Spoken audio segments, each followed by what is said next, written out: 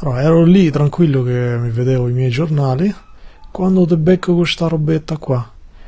E lei, eh, le fake news sono bombe che attentano alla democrazia. Eh, Maria Ressa si chiama questa, vediamo un po'. Persona dell'anno dal Time, è molto carina. Buh. Oh, con Anal. The fuck is this? Ah, ho capito. Praticamente c'era bisogno di fare un cambio di sistema in Filippine, cioè un cambio per non cambiare un cazzo in realtà.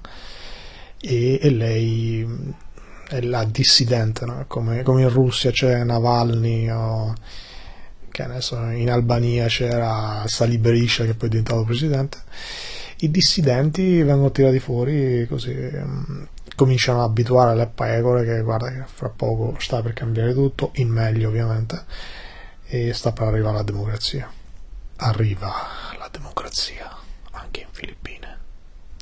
Oh, i retti, come si vogliono bene. Se non ci fossero loro che ci danno la democrazia. Ah, sì. Lavorano per noi loro. Un eroe. Sì, ma non mi puoi toccare Pisella adesso, però. Aspetta un attimo, faremo un'orgia dopo. Eh, ma io non resisto. Sì, aspetta un attimo, aspetta. Ci sarà anche l'amico mio stavolta. Ti piace lui?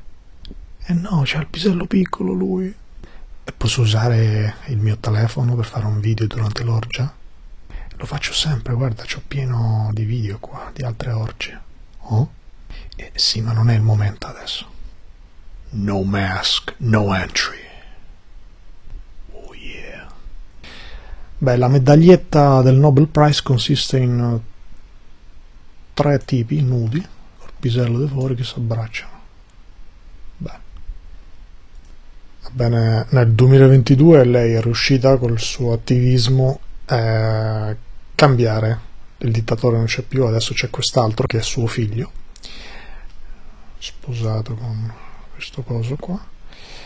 Ma vediamo piuttosto il logo qua.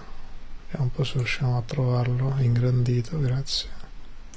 Vediamo un sole un ottagono cioè una stella a otto punte. E un bel triangolo. E vissero tutti felici e contenti anche nelle Filippine con la democrazia e la democranonna